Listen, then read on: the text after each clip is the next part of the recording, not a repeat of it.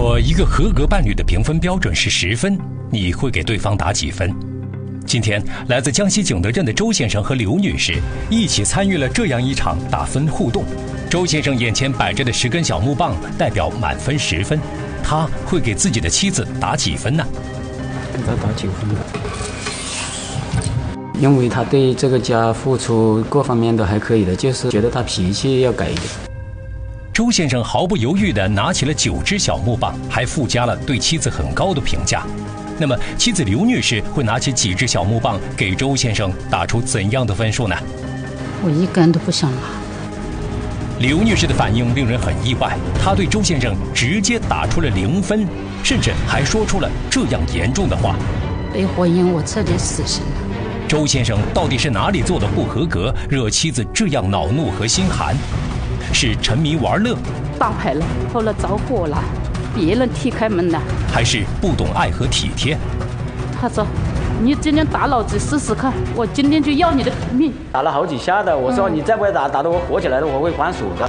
听完了周先生的所作所为，观察员们痛心疾首，纷纷把问题指向了他。你以后再被动一次手，我觉得都没有不能给你机会了。为什么给你机会？越想越生气。三无男人没有责任心，没有人情味儿，更加没有羞耻心。今天，周先生诚心悔过，想要挽回妻子。这些年，他在我家里功劳苦劳都是有的。他的悔过还来得及吗？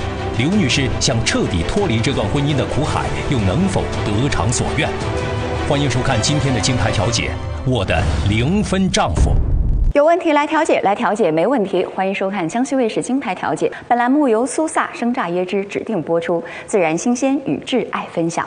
大家好，我是张婷，欢迎本场调解员，欢迎李老师，欢迎观察团各位成员，欢迎大家，欢迎双方当事人刘女士和周先生。先了解两位当事人各自的诉求。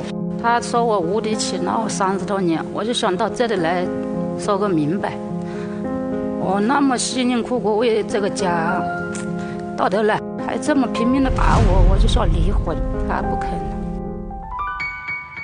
每次都说你自己好好想一想，嗯，每次都是你的错，你还不承认错。现在我我坚持要来，不然的话我离了婚了，还说我不好，就是离也得离得心服口服。哎，对对对。我是希望老师和专家们帮我们调解一下，我们各自的缺点在哪里？上吵起来，双方肯定都有一点，但是我的错多一点，都希望改正以后能好好过下去。你平常在他面前会说“我的错多一点”这句话吗？没说过。所以就很奇怪，你明明对自我有一定的认知，可是却就不在他面前表达。假如说我错了，要说一下，我要我知道，不要让我猜。他从来没有说过自己的错，都是错在我这里。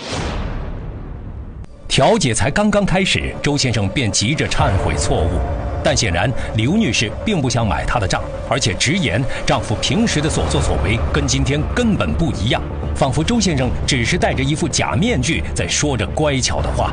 刘女士隐忍了三十多年的委屈，就像一个即将喷发的火山。